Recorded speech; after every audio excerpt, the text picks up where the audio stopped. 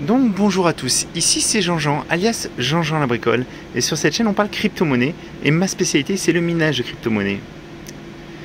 Et comme vous savez, depuis The Merge, depuis la fin du minage d'Ethereum, le minage de crypto c'est vraiment, vraiment pas la joie.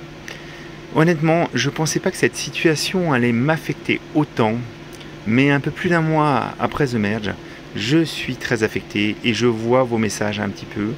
Euh, à droite, à gauche, qui en parle? Parce que ça a vraiment été une catastrophe pour nous, hein. quelque chose que j'avais jamais vécu.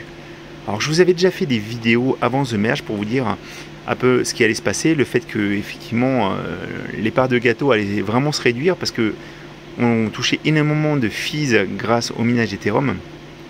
Mais je pensais que les autres cryptos allaient prendre suffisamment de valeur pour compenser au moins en partie euh, cet arrêt. Et malheureusement, même s'il y a vraiment eu euh, une prise de valeur hein, de certaines cryptos, c'est pas suffisant. C'est clairement pas suffisant et aujourd'hui, on est nombreux à miner totalement à perte, à éteindre ses rigs. Et euh, aujourd'hui, je suis tombé un petit peu sur euh, certaines annonces sur un groupe Facebook. Et c'est des prix qui, voilà, les gens sont prêts vraiment maintenant à brader leur carte graphique. Donc, bon, moi, je ne suis pas dans ce cas. Euh, clairement, toutes mes cartes sont amorties. Mais honnêtement, euh, je pense à tous ceux qui sont lancés un petit peu tardivement. moi, j'ai toujours incité les gens à y aller mollo. Mais euh, il y en a qui ont laissé les plumes et moi, ça me, ça me fait pas du tout plaisir. Mais bon, ça, c'est le côté négatif. Et effectivement, le minage aujourd'hui n'est pas du tout rentable. Voilà. Par contre, il y a de très très bonnes nouvelles qui se passent au niveau des cryptos, au niveau législatif, au niveau des prises de position. Hein. Et en France, on est vraiment bien placé par rapport à ça. Donc je voulais un petit peu revoir un petit peu avec vous ces différentes annonces qu'il y a eu coup sur coup qui sont à mon avis très très positives pour le futur.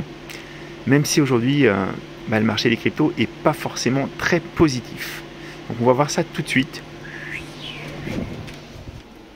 Alors, bon, je vous montre un petit peu ce que je suis en train de miner.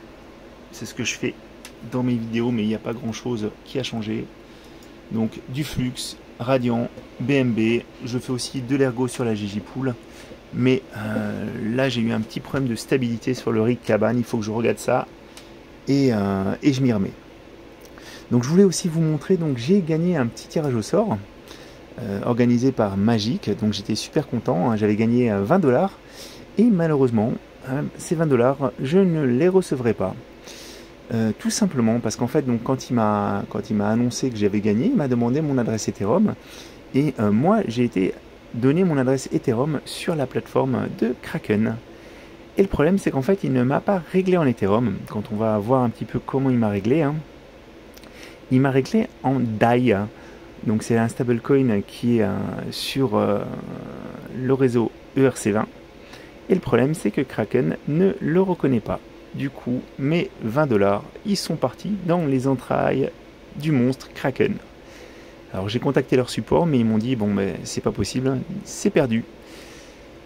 Alors tout ça euh, pour vous dire que c'est pas pas gagné, c'est pas gagné l'adoption parce que vous voyez, euh, je savais pas qu'il allait m'envoyer du DAI, autrement j'aurais pas été donné cette adresse Ethereum. Et au final, bah, les fonds sont perdus. Donc euh, moi j'imagine Madame Michou, elle, euh, elle aurait carrément décroché et elle aurait absolument pas compris ce qui s'était passé. Voilà. Euh, donc les bonnes nouvelles maintenant, parce qu'il y a vraiment des bonnes nouvelles coup sur coup hein, qui arrivent. Donc on avait, voilà, crypto.com va investir 150 millions d'euros en France et faire de Paris son siège parisien. Ils ont obtenu le statut de PSAN en France et ils vont s'installer à Paris. Donc ça, on l'a.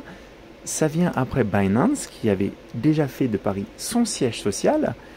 Et on a euh, Bruno Le Maire, le ministre de l'économie, qui nous dit qu'il veut faire de la France le camp de base en Europe des cryptos et de la DeFi. Voilà.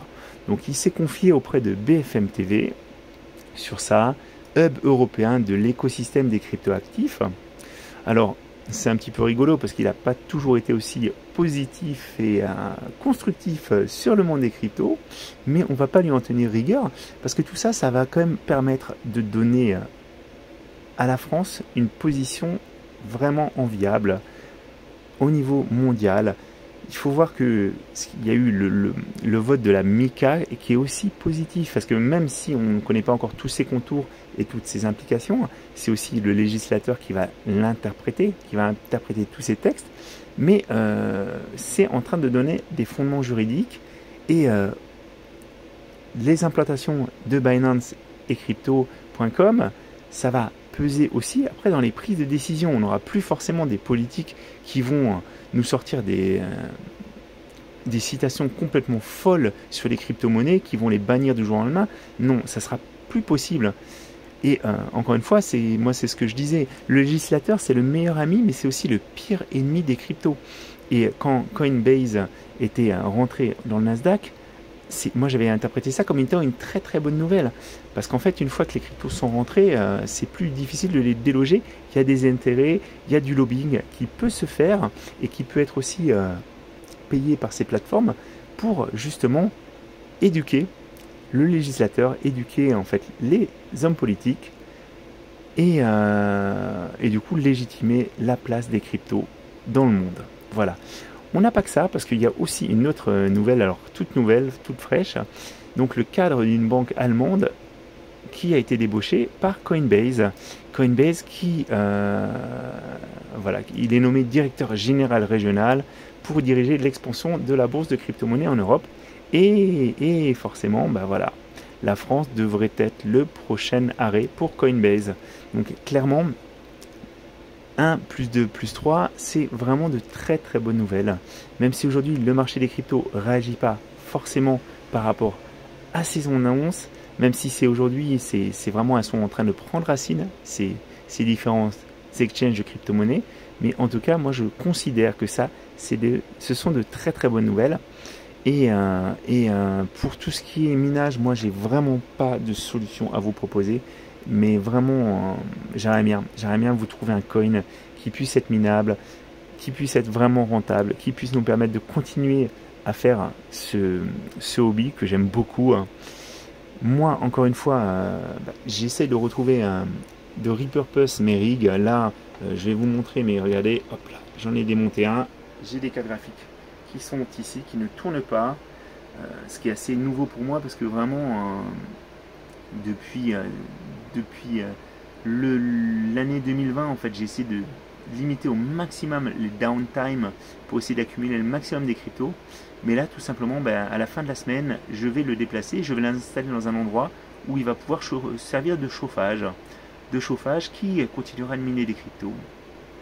Comme ça, je trouve une seconde utilisation et comme ça, je me dis, ben voilà, je peux continuer de miner, même euh, si ça me rapporte plus grand chose.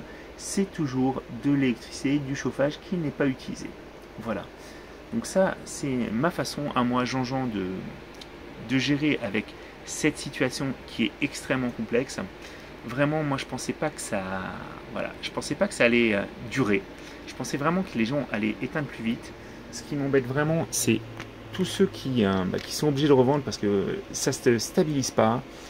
Euh, on avait, euh, je, vous l'ai déjà dit dans une autre vidéo, mais j'insiste là-dessus, quand on avait vécu ça en 2017, les profits avaient baissé, mais ils avaient baissé avec la baisse de la valeur de la crypto, et il n'y avait pas eu un décrochage aussi net et aussi flagrant. voilà, parce que vous voyez, on est vraiment très fortement négatif sur la plupart des cartes. Et ça, vraiment, c'est quelque chose qu'on n'avait pas connu. Alors moi, j'espère vraiment que ça va quand même se stabiliser. On s'était tous, alors quand on avait discuté avec Monsieur TK, euh, Makertronic, etc., on s'était dit que c'est quelque chose qui allait durer de toute façon, qui allait durer quelques mois, qu'il fallait du temps. Alors, c'est le temps qui nous manque, c'est le temps qui nous manque. Encore une fois, moi j'ai vu des annonces euh, sur Facebook des gens qui bradent totalement euh, les cartes. Pour l'instant, c'est pas en France que j'ai vu ça. Il euh, faudrait que je retrouve ça de mes tweets. Je, vais, vous montrer ça. Mais euh, ça fait mal, ça fait mal quand on sait le, prix auquel on, a, on a dû payer ces cartes. Ça fait mal de, de savoir qu'on les, qu'on les brade autant. Mais effectivement, ah bah, on a Guntis Vitoline là qui nous troll avec une belle, je pense, une 4090. Donc moi j'ai dit que c'était une RX 550, mais ça c'est clairement beaucoup beaucoup trop grand pour être une RX 550. Euh, Il voulait des fausses réponses. Mais, euh, mais voilà, j'ai vu, alors attendez, je vais vous retrouver un... Je vais essayer de vous retrouver, plutôt. Voilà, c'est celle-là. C'est une 3090, donc qui est en vente à 550 dollars. Donc c'est aux États-Unis, mais il faut vous dire, la 3090, c'est vraiment le très haut de gamme de Nvidia d'ancienne génération. C'est des cartes qui sont ultra bonnes. Si vous voulez euh, faire euh, du gaming, c'est vraiment une carte qui sera excellente. Vous pourrez tout faire tourner plein pot et, et, voilà. Bon, ça consomme fort, mais voilà. Et cette carte-là, l'avoir à 550 dollars, alors que moi j'ai payé la mienne plus de 2000 euros, ça fait vraiment bizarre. Hein. J'ai vu des, offres aussi, des gens qui vendaient les 3060 Ti et les 3070 entre 200 et 250 euros. Donc vraiment, encore une fois, je me dis si c'est des personnes qui ont soit c'est des personnes qui les ont amortis depuis longtemps et qui peuvent se permettre de le revendre à ce prix-là. On a vraiment une baisse du prix de l'occasion. En tout cas, il y a de l'offre, mais l'offre est souvent trop chère et euh, la demande veut moins cher. Forcément, hein. euh, les, acheteurs sont en position de force. J'aimerais bien qu'on sache un petit peu quand est-ce que ça va, ça va un petit peu s'équilibrer. J'aimerais vraiment que ça s'équilibre rapidement. Je pense qu'on est tous en attente encore une fois, je suis, vraiment navré de cette situation et euh, malheureusement, si c'était moi, on serait encore en train de miner de l'Ethereum. Voilà. Donc j'espère que ça vous a intéressé et puis euh, n'oubliez pas, il y a de très très bonnes nouvelles. C'est pas des, forcément des très bonnes nouvelles au niveau mining tout de suite dans l'immédiat, mais ces nouvelles au niveau de la législation, au niveau des prises de position de crypto.com, de Binance et bientôt de Coinbase, ce sont de très très bonnes nouvelles pour le futur des cryptos en France et en Europe de façon plus générale. Voilà. Donc c'était Jean-Jean et euh, je vous dis à très bientôt les amis.